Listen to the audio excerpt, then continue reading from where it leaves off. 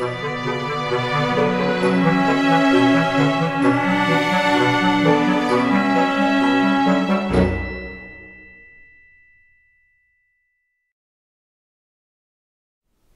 to Breaking Down Bergman. I'm David Friend, And I'm Sonia Strimban. and we're looking at The Rite.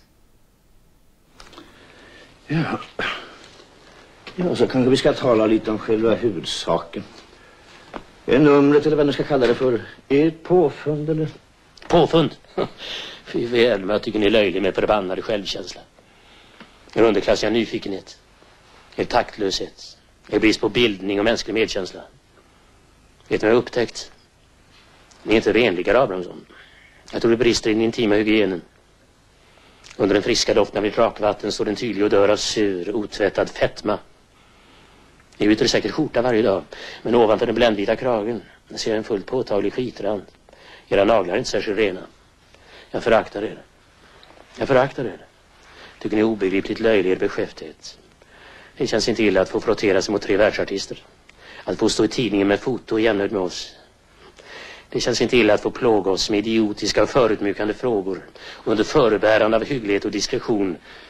Att knäppa ner våra byxor och smiska oss lite. Jag tänker advokat kräva en domare på min nivå. Ni har ingen förutsättning att förstå eller bedöma vad vi gjort. Ni är en lågsinnad, dum stackare. Nu har jag sagt vad jag burit på. Nu kan du bura in mig. För missfirmelse eller vad det heter. In some ways, I feel like The Rite is a very unique film for this period in Bergman's career. Bergman was working with the Royal Dramatic Theatre, and he had been having some successes, but there were a lot of criticisms coming from outsiders, and I feel like The Rite was sort of a channeling of a bit of that aggression that he may have had uh, internally um, into these characters that he made in the story of The Rite.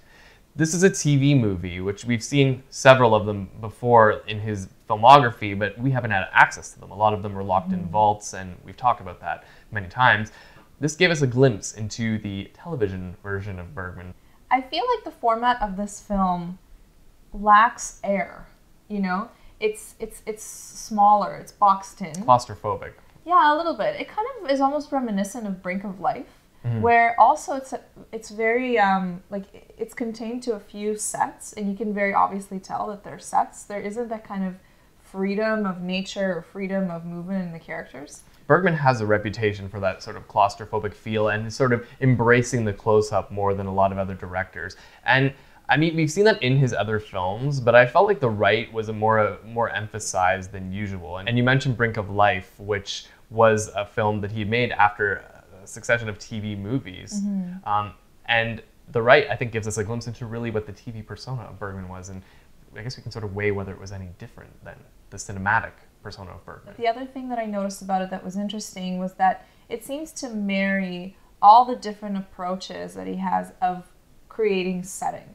So there is an element of the dramatic or the theatrical staging, and then there's also the cinematic perspective with some of the close up shots. But then there is this kind of TV feel, as you're saying, by sort of the smallness of it, if you will. With television, you often assume that it's not a complex medium, but with this film, there's a, a danger of over analyzing what is on the screen. Absolutely. I don't want to give it credit for being overly complex in a great way. I'm not really sure that's what the Rite is. I, I tend to agree with you. I think you can almost fall into a trap of trying to overanalyze it because it just bubbles up with references. The unfortunate part of having so many things cluttering one film is that none of them really get worked out. And so I think they, they lose a lot of steam um, and just crowd each other. The themes that he revisits here sound very familiar. It's things from The Magician, from Through a Glass Darkly, The Silence. These were all things that we saw in the film Persona. Yeah, but not not like this. I mean, in Persona, they all came together and they all me- made meaning. And when he referenced something, it had real value. Whereas here, they just kind of bubble up to the surface and, and expire. You mm-hmm. know, I I don't feel like there's the kind of cohesion in the Rite that there is in Persona. I feel like a lot of the references that he's making are they're almost random. which is strange because Bergman creates uh, structure around the storytelling in this film that is very obvious and it's, it's to the audience it's intentional. The scenes are created in essentially acts right? And he's he is so specific down to the location of where everything happens but it actually works against the film in a lot of ways. Well, and it's funny because on the one hand, he's really specific about the setting, like a room or something like that.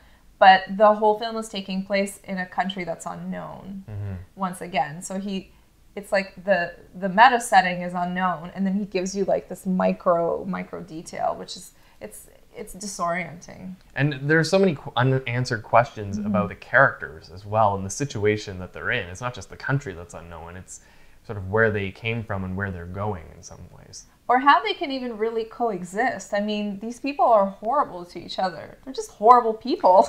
one is a murderer, another one is an adulterer, you know, a third one is a, some kind of subversive control freak. Um, and they're just this unholy trinity that, you know, is stuck in this small, tiny environment and they keep harming each other. It's very neurotic and bizarre. It's so tempting to break down these characters and sort of put them into little boxes. The id, the ego, the super ego was something that I was sort of, uh, I felt the need to do very early on in the film. Yeah. I don't really know if Bergman was going for that, but it, he certainly sort of encourages you you to to compartmentalize the structure of this film like he does. And I think it's a fair assumption to make that conclusion about the psychoanalytical parts because we've been dealing with psychology for the past few films. Um, and, and Freudian references have been made, so I don't think it's a leap. Psychoanalysis is really a form of scrutiny where you're trying to control a certain behavior and a reaction based on your psychological state. And in this film, these three characters, or the three parts of the of the ego, superego, and the id, are also being scrutinized in an attempt to control by authority. So the three actors who are traveling troupe, which yeah we've never seen before, right? um, they run into some problems because of the performance that they're giving, because it has a very pornographic element. And so basically, they come across a magistrate who wants to censor them and potentially make them pay a fine, unless they change the performance. So the compromise that they come to is they basically have to do the performance in advance for him to judge whether it is significantly offensive, um, and then charge him the fine or not. It sounds a lot like The Magician. It sure does. And like in The Magician, the audience, which in this case is the magistrate and the critic, the authority figure, um, through the performance, they are somehow transformed and harmed in a way because they have been opposed to it before. So, like in the other films, here Bergman is again playing with that art versus authority paradigm. And of course, because it's Bergman and we know what he thinks of himself and what he thinks of his critics, art triumphs. The Rite is quite a significant shift from Shame, which in many ways was quite a literal film. And here, there's a lot of trouble grasping what, what is reality, what is created. And what is the psychosis of the characters? There are a lot of questionable moments, whether they actually happened or not. One of them is when Sebastian sets the hotel room on fire and the bed is burning, and then suddenly the scene ends. And we don't really know if that actually happened, if it was in his head, and there's no further addressing of that matter later on. Did he survive with burns? Apparently not, but Bergman just ignores it, and I think that really mm-hmm. throws us off. And then again, later on in the film, there is a rape scene, or you think it's a rape scene, which I think I found very questionable because in one instance you can see her removing her panties, which sort of suggests that it might not be. But again, Bergman doesn't really address it. The shots are very tight on the scene, so you can't really tell what's going on. Mm-hmm. Clearly intentional, but very frustrating as a viewer. Yeah, there are a lot of, I I mean, aside from those shots, which I think are meant to confuse, there's a lot of other shots just in the way that they're made and the way things jump from scene to scene that they're unfinished or they start from places that we didn't expect and there's there's little continuity in the film as a whole. I found as a viewer that this lack of clarity was incredibly frustrating. It, there was nothing redeeming about it. It just confused me, and I couldn't come up with anything from it to really gain any insight into the storyline. on the whole, I, I do agree with you. I think it was a challenging film from like an enjoyment perspective to watch and, and, and to retain something from it. Um, but there was one scene that I liked where I actually thought that the style that he was working on for this film and kind of the the throwback references to other films and other themes. I thought in this one particular scene that actually worked quite well. And that was the dressing room scene where Winkelmann confronts Thea um, about kind of her state of mind and, and what she's feeling and the fact that she their marriage isn't really working and that he knows she's cheating on him with Sebastian and all that kind of stuff. And for me, that scene was kind of really jarring because of how it all came together. And she's in front of a mirror in her dressing room and she's wearing this absurd clown makeup, which I really didn't expect because during the whole film, even though their performances were always referenced, we never really had an indication of what kind of theater they did or what kind of performances they did. And I certainly didn't expect her to be in this this clown getup. So you don't know whether it's humor or dark humor or, or what it's doing. And it was very um, reminiscent to me of, of two previous films that I really enjoyed. And one was uh, Sawdust and Tinsel, and the other was Summer Interlude.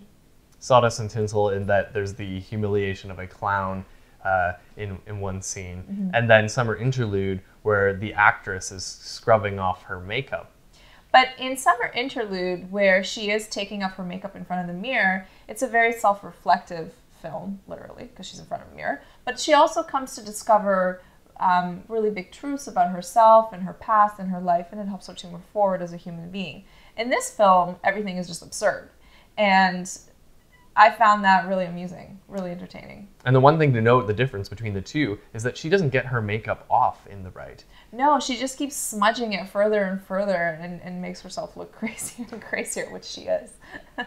I think that was intentional. And how about that final performance that we've been waiting about an hour to watch? We finally do get to see it at the end, and it is very strange and maybe a little bit shocking. Yes, but I would tend to think that most of the film that came before it is significantly more so. Mm, okay. I, I, think that's actually that was an interesting and, and playful juxtaposition that he did, where throughout the whole film he made us wait for this really alarming and offensive and hypersexualized performance, pornographic, um, and then when he does show it, I mean, aside from two enlarged wooden penises and a little bit of exposed breasts, which actually look kind of tasteful, there's really not that much to it, mm-hmm. right?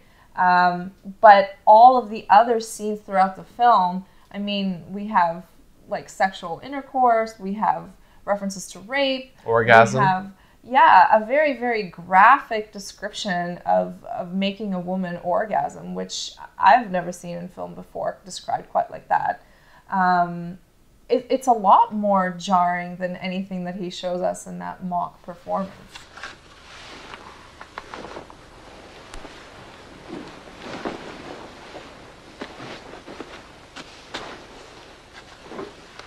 to me, what Bergman is really addressing here is the point that the art of the film is not really the issue. In fact, everything that comes before it is more deviant, is more hurtful, is perhaps more offensive than the actual stage production, which are the officials and the critics are so distracted by. But that said, it's actually this art that seems to work as a weapon because it kills Mr. Abrahamson. He has a heart attack and dies um, during the performance. So that's a little bit of Bergman's dark humor, I think.